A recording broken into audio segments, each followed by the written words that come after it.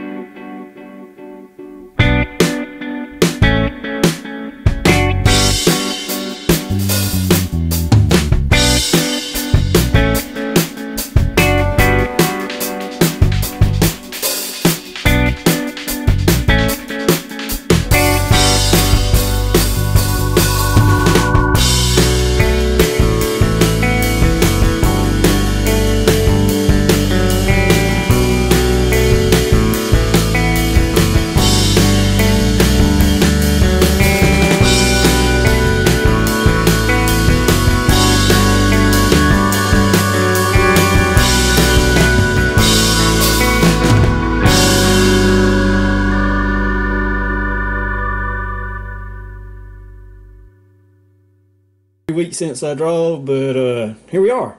Rocky Balboa has to be my favorite all-time movie series from way back when I was a kid, and I still love it. It's my all-time favorite movie series, and uh, I think it turned out all right.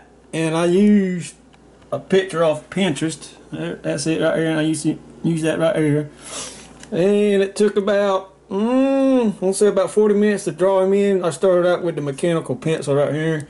Then I went over to the Micron ink pen. And, uh, yeah. Mm, took about, like I said, about 30, 40 minutes to draw him in with both them. And then to color in his uh, gloves and his shorts, I used Pigma brush tip pens. Felt tip pens, sort of. I reckon you call it. Do his his pants, his, his uh, boxing shorts, and his gloves. And then to shade his skin in and everything, uh, I use my Copic sketch markers. I really love them. I ain't used them in a while, but I use them to do his shading and everything and, and his layering of his skin tones and all that. And to get the white and everything, I use the Gelly Roll pen right here gelly roll due to uh, as the camera flashes and everything the uh, color on his hair and some on his uh, his gloves around his outsides of his gloves. And actually uh, when you sweat and everything you you uh, reflect light off that and everything on his chest around his face and all that. And uh, man I think I done a pretty good job. I might not be the best at it but I like it Tell me what y'all think. I know it's been a while, so I, I, I told myself in the morning I, I got to I got to draw something out of there for you know my subscribers. I'm up to 202. Wow, that's amazing. I never thought I'd get to 200. Shoot, much less 100. You know, so yeah, I really like it. And all together, let's see, it took about an hour and 15 minutes or so to do that, but I really like it. Y'all tell me what you think. I'll zoom in and get a close-up shot one time for you his old face, and he did have little, some marks on his face from the fight. And this is off Rocky Four when he fought Dra- uh, Drago, Drago, whatever, the Russian guy. I can't say his name anyway, but that's why he was in the ring with him.